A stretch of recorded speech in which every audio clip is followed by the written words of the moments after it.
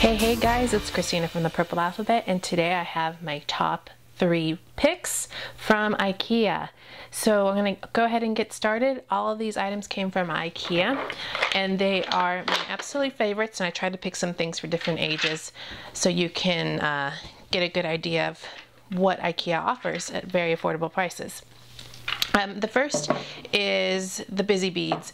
This obviously is for the younger child or maybe a baby. Um, you have to assemble this on your own. It comes in these three wire pieces and all the beads. You can essentially decide which beads go on what. But you assemble it. It was fairly quick to do. There was just some screws on the side here and you pop in the wires and you're done. This is great for uh, fine motor. So you've seen these all over the place, but IKEA has them at very affordable prices and I highly recommend, um, especially because it's made out of wood.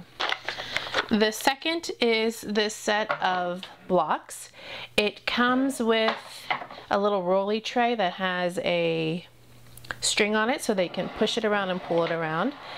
Um, I believe this one came already um, assembled, which was great. And then there's a whole bunch of building blocks inside, all different shapes and sizes. And what's really neat about this, I'm actually missing a couple pieces. Uh, there's somewhere probably underneath the couch. But what's really neat about this, I'm gonna dump them out on the floor here, is that inside the tray are the shapes. So you can match up the shapes and put the shapes back in the right spots to where they belong and know what you're missing or what you need and know how they fit all right back inside so you can store it um, flat. Then my last IKEA uh, find is this farmhouse. Um, it's pretty large as you can see here and it's a barn or a farm and it's great because it's all fabric and there's different textures along the sides. So over here is kind of has a uh, ribbed texture on it. And we'll turn it around so you can see the back.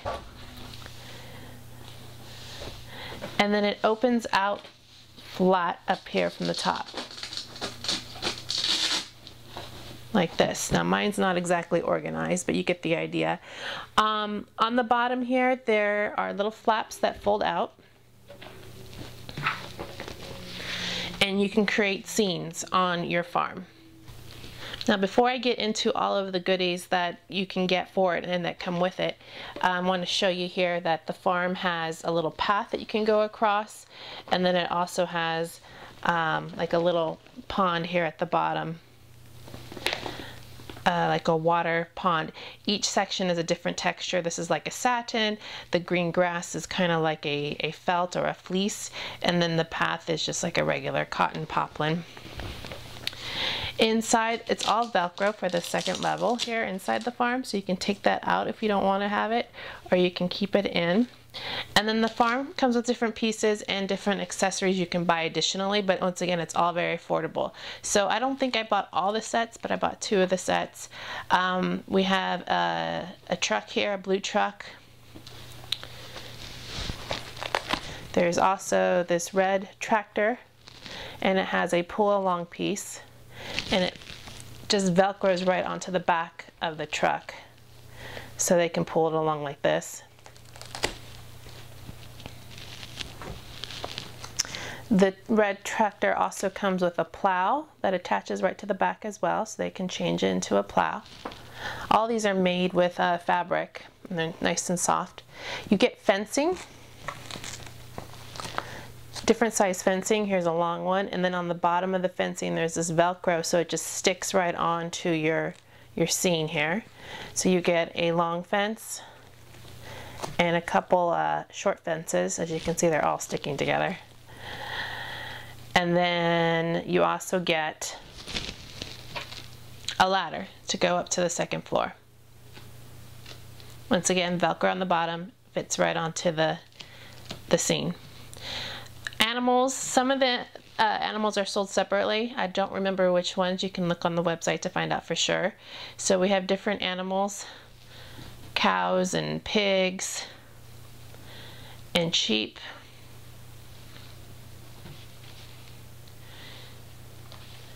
horses, more cows, and then you also get the babies as well on some of the sets, little piglets.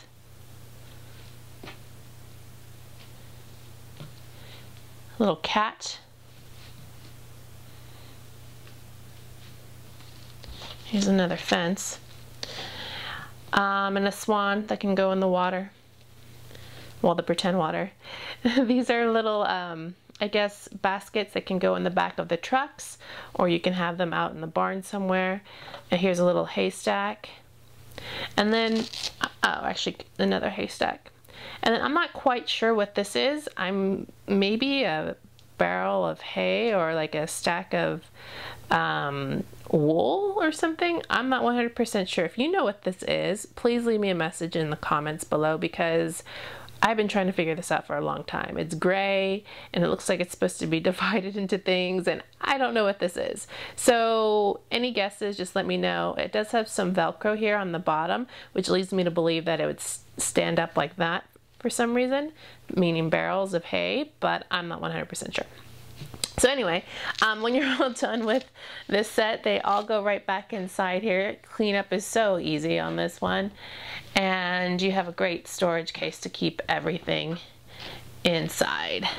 You fold up your, your playmat that comes with it and right back up, Velcro to the top.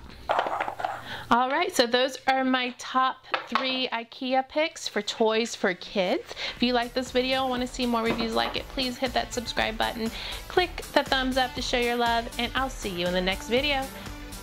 Learning the alphabet, and then they use their fine motor skills to push open that clothespin and to put it on to match.